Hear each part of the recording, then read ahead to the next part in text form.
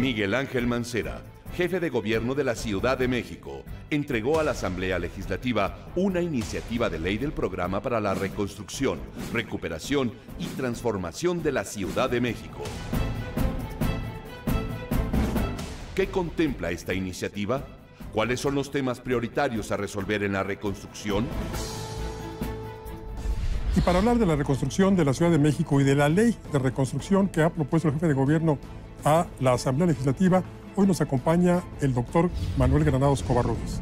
Él es consejero jurídico del gobierno de la Ciudad de México, presidente de la Comisión del Gobierno de la Asamblea Legislativa hasta hace tres años y ha sido coordinador de asesores en la Procuraduría General de Justicia de la Ciudad de México.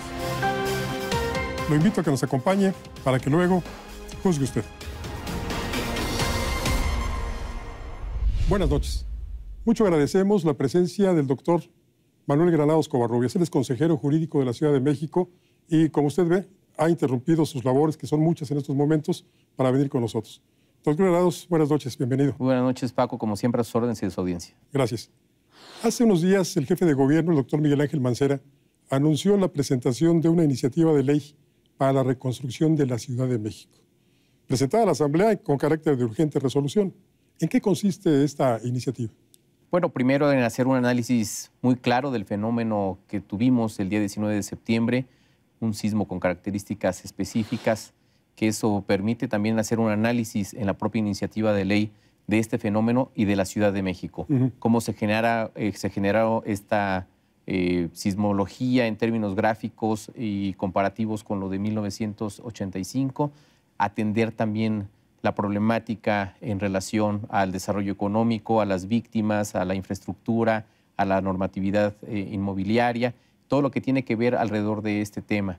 A partir de ahí se tomó la decisión de generar primero un acuerdo de emergencia eh, y luego pues el de, también el de desastre que permite a la Ciudad de México tomar decisiones de manera inmediata con todo el gabinete encabezado por el jefe de gobierno y cada uno de nosotros de las áreas específicas atender problemáticas también muy puntuales de la ciudad. Hasta donde tenemos conocimiento, la eh, clase política, los dirigentes del gobierno de la Ciudad de México actuaron de inmediato dentro del llamado C5, ¿no es así? Así es, desde el primer minuto fuimos convocados al comité de emergencias en donde sesionamos de manera permanente y desde donde se recibió instrucción por parte del jefe de gobierno asignando a cada uno de los titulares algún edificio colapsado para atender la emergencia, coordinar los trabajos y sobre todo, bueno, pues también estar muy atentos en la información que sucedía momento a momento. La principal instrucción del jefe de gobierno es justo el tema de la localización, búsqueda y rescate de personas en esos momentos de tragedia. Siente tan fuerte el sismo como lo sentimos todos. He leído en comunicados del gobierno de la Ciudad de México que se afectó menos del 1% del parque inmobiliario de la ciudad.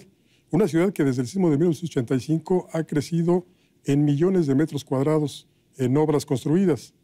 ¿Esto a qué obedece? ¿A estas nuevas legislaciones que se promulgaron después del 1985? El primer reporte fue de 38 edificios que sufrieron un colapso o daños en su infraestructura, eh, cosa que también es el análisis que se hace en la propia iniciativa de ley, en tanto que eh, debemos de analizar cuándo fueron construidos estos inmuebles, bajo qué reglas, bajo qué normas, bajo qué circunstancias y materiales fueron construidos, que eso también implica en una zona sísmica como es la Ciudad de México para tener la certeza de tener una ciudad también fortalecida en su infraestructura inmobiliaria. ¿Y esos 38 inmuebles que colapsaron eran todos eh, posteriores a 85 o en su mayoría previos a esta fecha? Eh, mayoritariamente previos a 1985, sin embargo también hubo inmuebles que eh, fueron recientes, digamos, que sobre esos ha instruido el jefe de gobierno también iniciar las carpetas de investigación correspondientes para afincar responsabilidad a quien eh, tenga eh, también un nivel de participación o de responsabilidad en ello. Claro.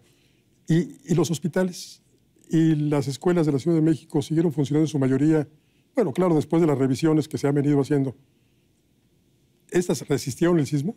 Bueno, eh, tuvimos lamentablemente, como fue de conocimiento de la opinión pública, una escuela en donde tuvimos una desgracia ahí importante con menores de edad. Eh, aprovecho también para enviar mis condolencias a los familiares de quienes han perdido eh, pues a familiares o amigos en estos acontecimientos y que esto también es un llamado de atención para efecto de revisar las normas puntuales en la construcción, por ejemplo, de escuelas, en puntos de concentración, en donde para nosotros es más importante la vida de las y los. Se trató de una escuela privada, pero yo le preguntaría, ¿las escuelas públicas resistieron? Bueno, hay también un análisis eh, muy puntual de revisar las estructuras. Este trabajo continúa, deberá de mejorarse también esta revisión para que sea periódica, bajo esquemas muy puntuales eh, de precisar cuáles serán las reglas a partir también eh, de estos fenómenos sismológicos y que a partir de ahí la propia ciudad pueda generar este desarrollo que es lo que viene en la iniciativa. ¿Cómo recuperamos en esta etapa de resiliencia, eh, es decir, recobrar la vida de la propia ciudad, adaptándonos a los fenómenos naturales, adaptándonos a este tipo de eventos eh, o acontecimientos que suceden y que a partir de ahí la vida económica, social, debe de reactivarse en nuestra ciudad para dejar en los niveles eh, y estándares normales. Y esta recuperación moral, esta falta, este temor que aún muchos sentimos de que pueda repetirse un fenómeno así, ¿cómo lo subsanarían las autoridades? ¿De qué manera participaría el gobierno de la ciudad tratando de calmar los ánimos?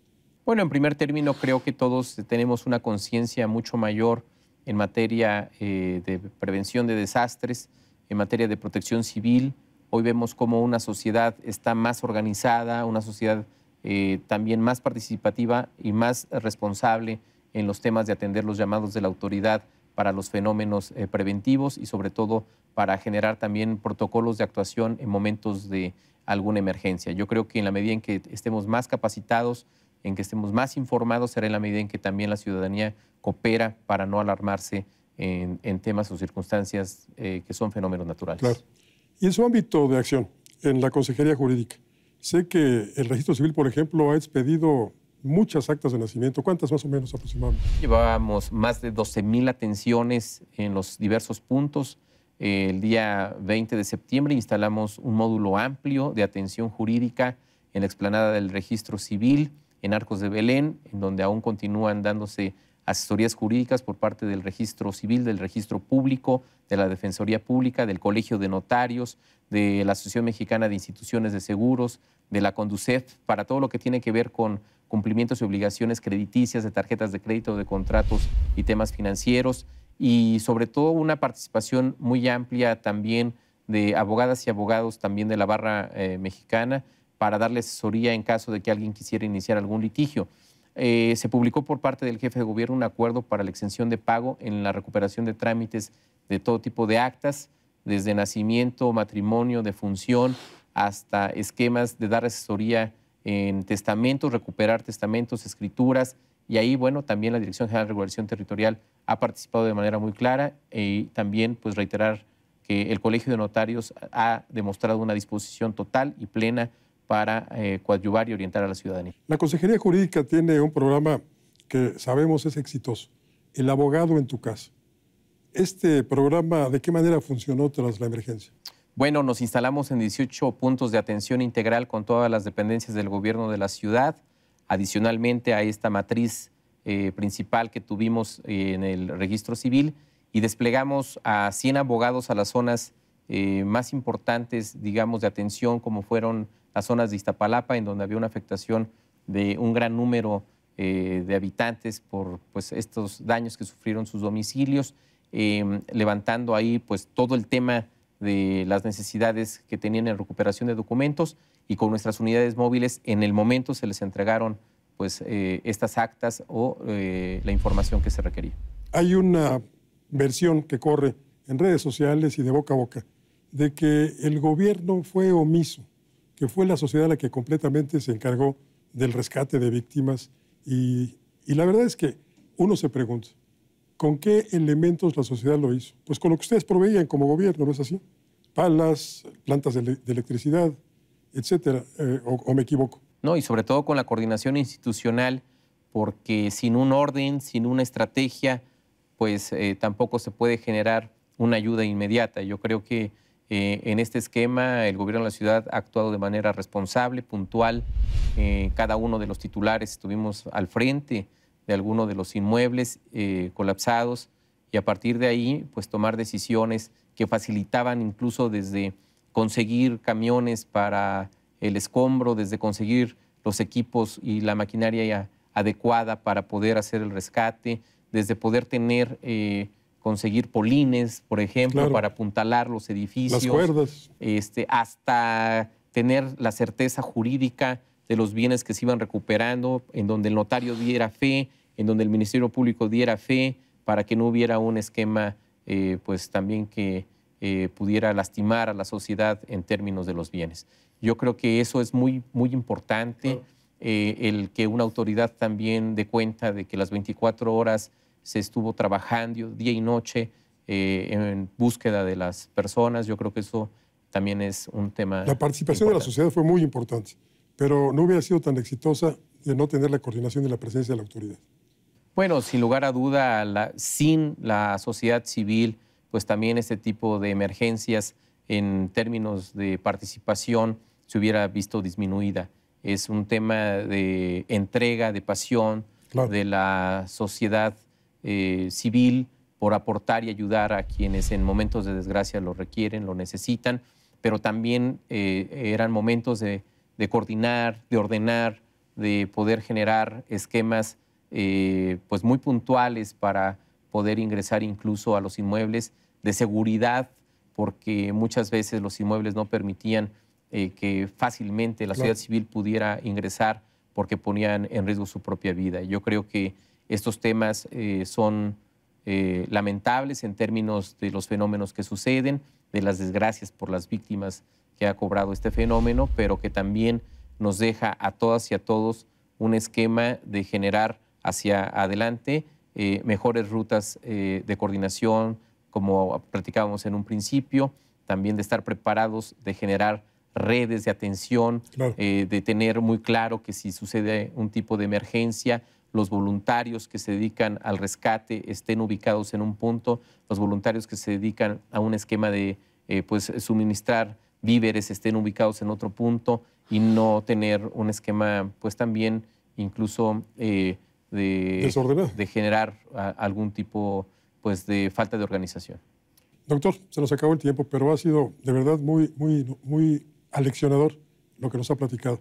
Esperemos que pronto venga a platicar también con nosotros y con el auditorio sobre la aprobación de esta ley de la reconstrucción de la Ciudad de México. Bueno, hacemos un llamado a la Asamblea Legislativa para efecto de que eh, esta eh, iniciativa de ley presentada por el jefe de gobierno sea aprobada y que sea siempre en beneficio de las y los capitalinos.